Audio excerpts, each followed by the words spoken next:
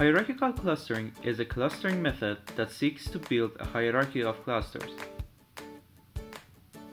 Single linkage is an example of bottom-up hierarchical clustering algorithms.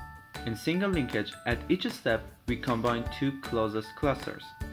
The distance between two clusters is defined as the minimum distance between their elements. Single linkage is basically Kruskal's minimum spanning tree algorithm that is a stopped after some steps. Unfortunately, single linkage produces highly uneven clusters since the larger clusters are more likely to be merged in each round. This is an example where single linkage performs poorly.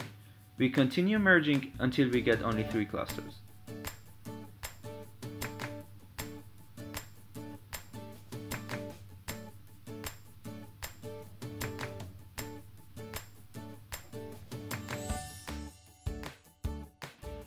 As you can see, the produced clusters are highly uneven and far from what we expect the three clusters to be.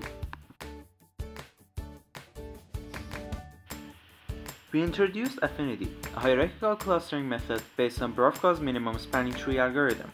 Each node initially is a cluster. At each round, we merge any cluster to the cluster that is closest to it. We stop the algorithm when we have the desired number of clusters. Let's run affinity on our example.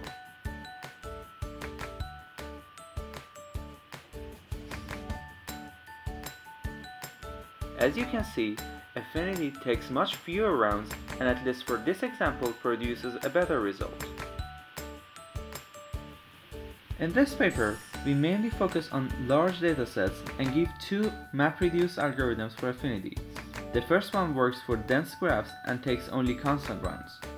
The second algorithm works for sparse graphs and takes logarithmic rounds. We mainly have two sets of empirical results. Our first experiments show that different variants of affinity generally produce higher quality clusters than many other methods.